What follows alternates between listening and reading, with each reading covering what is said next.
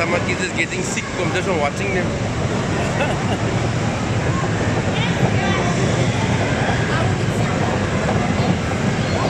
and